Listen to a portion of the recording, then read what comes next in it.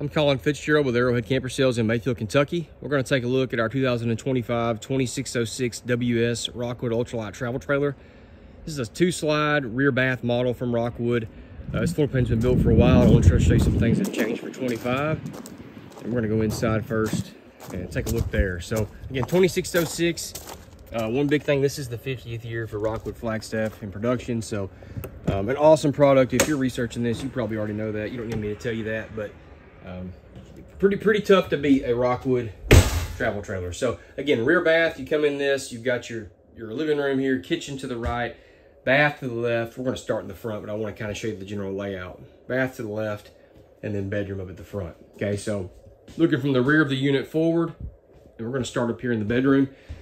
So two slide model, um, WS with wardrobe slide. Rockwood does use a wardrobe slide here to the left. Um, because of that, you really open up these bedrooms um, versus not having one at all. So you got hanging storage and um, shelf storage here.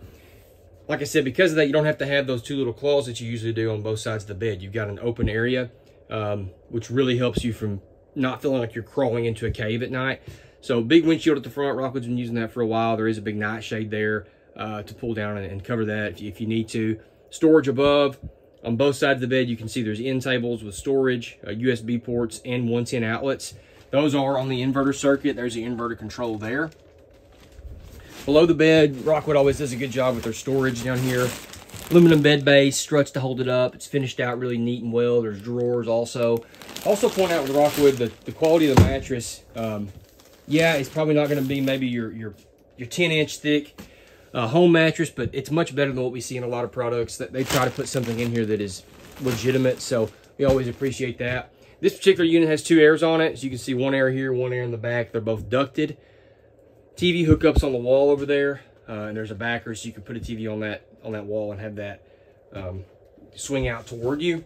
And then a big door. One of the things about this floor plan that everybody likes is the width of these doorways and how open it is. Um, you can see that this door and the bath door, it's very, very open. It's a, it's a, it's a straight shot. So people that don't like to be enclosed or those with, you know, more mobility uh, restricted situations. Generally like this floor plan. Kitchen to the left when we come back out.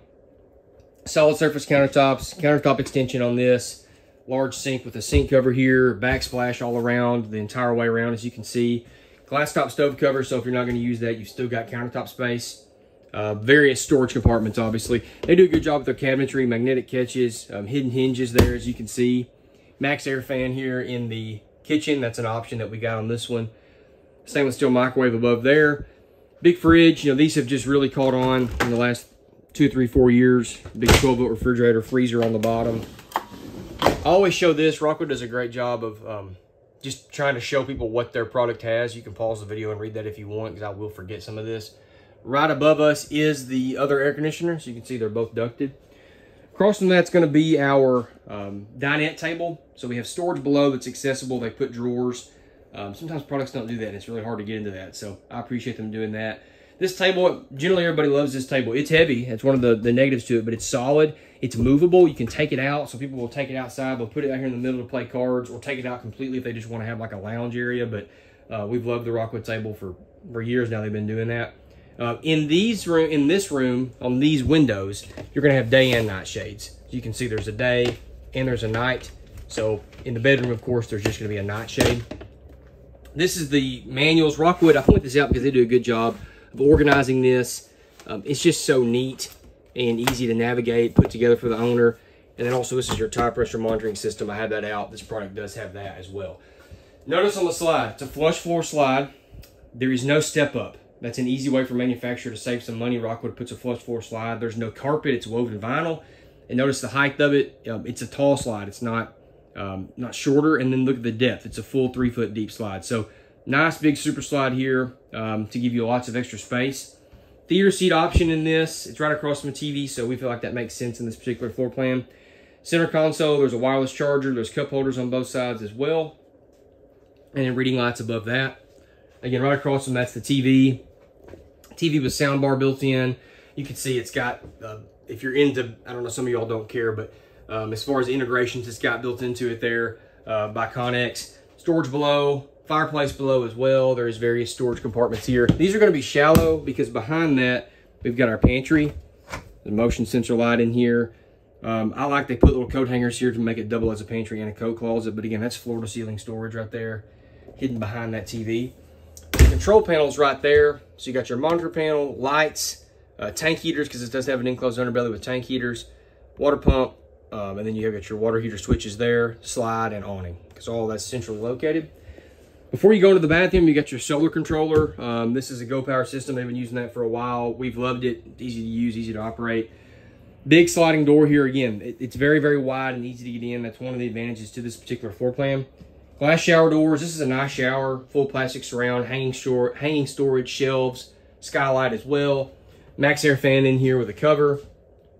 A window on the back wall. I'll point that out because it's easy way to just cut some money out by not putting that, but Rockwood does it. It keeps it from feeling like this is just like a, a closet. Um, foot flush toilet, porcelain toilet, of course. Really nice linen closet in this bathroom. And then down here, usually this is excess. No, it's not. It's below the sink to your, uh, yeah, you're gonna be able to get to your water pump back here really easy. Uh, and then there's other water connections. Accent light below, as you can see down there. And then a medicine cabinet with storage here.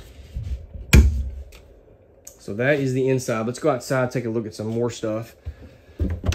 I'll try to show this flyer that Rockwood makes on the door. Again, you can pause and read all this. They do a great job of um, showing all the features they have.